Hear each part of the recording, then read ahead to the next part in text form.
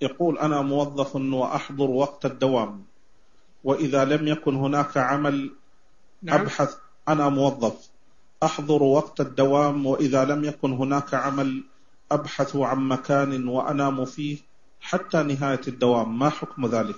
لا ما يجوز لك تنام. تجلس في مكان العمل تجلس في مك- في مكان العمل وتنتظر إن جاء شغل تشتغل وإلا تجلس هيأت نفسك وجلست في المكان وتحريت. أما أنك تنام تروح المكان آخر وتنام لا هذا لا يجوز.